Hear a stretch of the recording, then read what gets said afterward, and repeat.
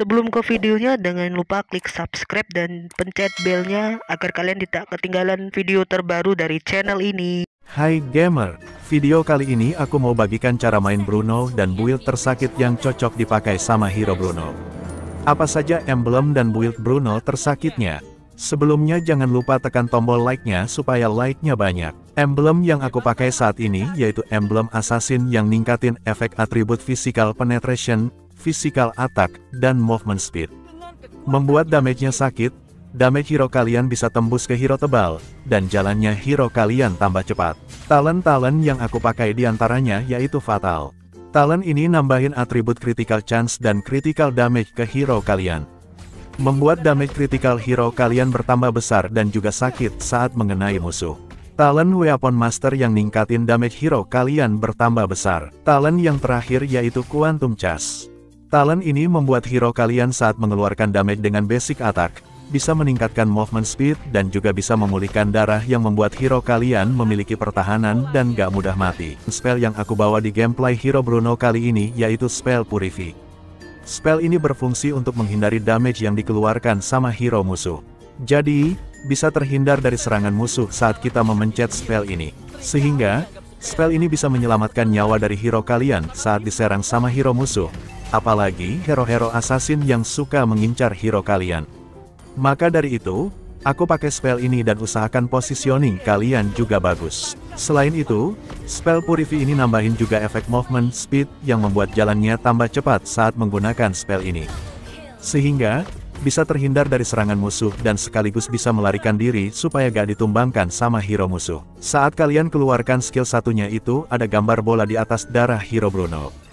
Bola tersebut merupakan pasif hero Bruno. Cara kumpulkan pasifnya itu kalian tinggal tunggu bola yang terbang habis ditendang sama Bruno dan saat mendarat ambil bolanya. Dikarenakan bola besar ini nambahin damage yang dikeluarkan sama hero Bruno menjadi besar. Sehingga musuh yang terkena bolanya menjadi sakit dan darahnya cepat berkurang.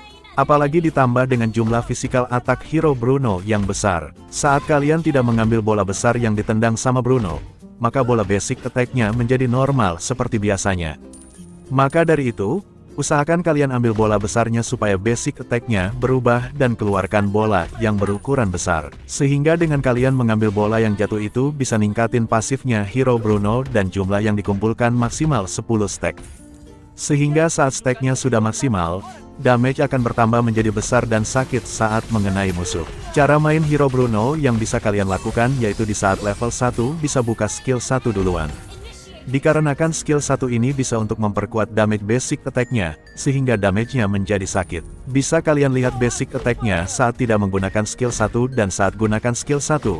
Bola yang ditendang sama hero Bruno menjadi besar saat menggunakan skill satu dan bolanya menjadi kecil saat tidak memakai skill satu. Maka dari itu, skill satu ini sangat penting buat hero Bruno di early game supaya bersihin minionnya lebih cepat dan bisa memberikan damage tipis-tipis ke hero musuh.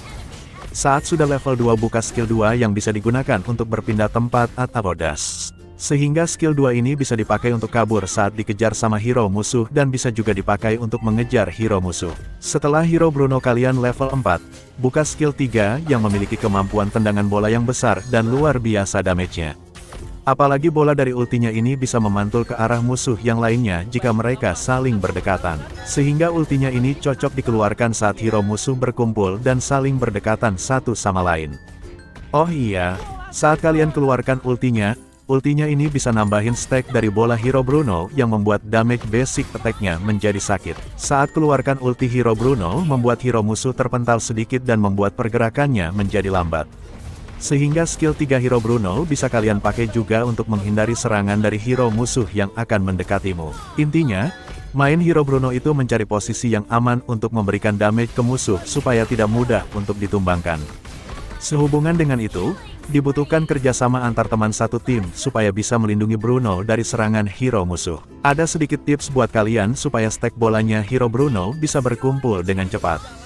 Pertama, Kalian pakai item attack speed yang sudah aku jelaskan sebelumnya dan yang kedua, yaitu bisa menghit apa pun yang berada di dekatnya, misal minion. Kalau stack pasif bolanya sudah terkumpul maksimal di angka 10, damage yang dihasilkan dari bola besar yang ditendang sama hero Bruno menjadi lebih besar. Jadi, Damage yang dikeluarkan sama hero Bruno terasa sakit saat terkena ke arah musuh. Saat memakai item yang memiliki efek atribut attack speed, membuat tendangan hero Bruno menjadi cepat dan juga stack pasifnya hero Bruno bisa terkumpul dengan cepat. Sehingga, tidak menunggu waktu yang lama stack hero Bruno bisa maksimal di angka 10. Dengan adanya kerjasama dan terjalinnya komunikasi yang baik antara teman satu tim, membuat gameplay kalian merasa aman dan nyaman. Sederhananya, saat hero Bruno terlalu maju dan Roamer, kalian mengetahui ada musuh yang berada di dekat Bruno. Saat kita melawan hero seperti Popol Kupa, Leslie, dan hero lainnya yang memberikan damage yang besar dan menghambat kita untuk farming di Gold Land, lebih baik kita bermain di dalam turret supaya hero Bruno kita aman dari serangan hero musuh. Abis itu sembunyi-sembunyi di semak yang ada di sebelah tembok untuk mendapatkan minion dan juga menyerang musuh secara diam-diam.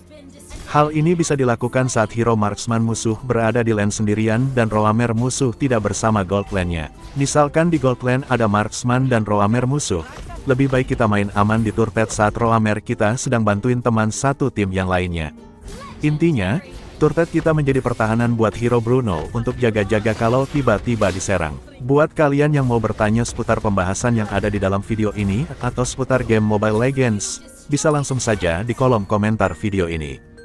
Jadikan kolom komentar menjadi sarana untuk bertukar informasi dan bisa untuk mengobrol. Buat kalian yang belum like video ini, ayo buruan di like guys.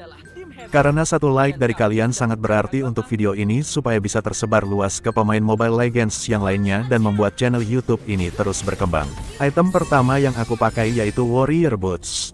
Item ini nambahin stack physical defense yang stacknya bisa melindungi hero kalian dari damage physical musuh. Jadinya damage-nya gak masuk semua ke hero kalian, membuat darahnya gak berkurang banyak. Item berikutnya yang bisa kalian pakai yaitu Has Claw. Item ini nambahin efek Lifesteal.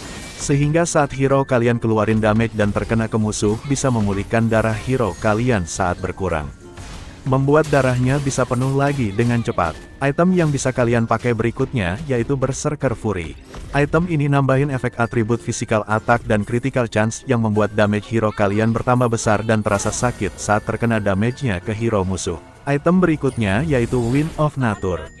Item ini membuat hero kalian kebal terhadap physical attack hero musuh saat mengaktifkan item ini. Jadinya harus dipencet terlebih dahulu supaya bisa terhindar dari damage physical musuh. Item ini juga bisa nambahin efek atribut physical attack, attack speed, dan lifesteal. Item tersakit berikutnya kalian bisa pakai si Halberd.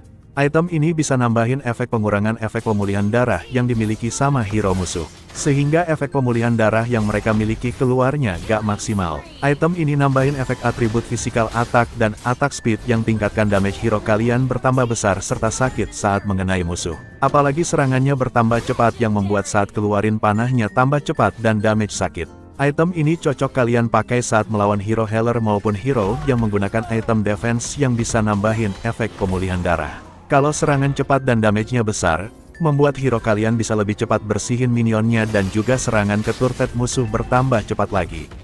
Sehingga lebih cepat hero kalian untuk menghancurkan turret di pertahanan musuh. Item berikutnya, kalian bisa pakai Blade of Despair. Item ini nambahin physical attack tertinggi ke hero kalian. Membuat damage-nya bertambah besar serta sakit saat damage hero kalian mengenai musuh. Sehingga item ini rekomendasi dipakai saat late game. Membuat damage yang dikeluarkan hero kalian udah besar, serangannya keluar dengan cepat lagi. Sehingga hero musuh merasa kewalahan saat menerima damage dari hero kalian. Item ini juga nambahin movement speed yang jalannya hero kalian tambah cepat. Terima kasih buat teman-teman yang sudah menyaksikan video ini. Semoga apa yang aku jelaskan di video ini bisa bermanfaat untuk kalian. Buat yang mau bertanya ataupun memberikan pendapat, bisa langsung tulis di kolom komentar video ini. Jangan lupa tekan tombol like-nya supaya like-nya banyak, bagikan video ini ke teman-temanmu, dan juga tekan tombol subscribe sama pencet gambar belnya supaya tidak ketinggalan informasi dan video terbaru dari channel ini. Sebelum video ini selesai, ada video-video menarik yang bisa kalian jumpai di layar akhir. Bisa langsung kalian tekan videonya.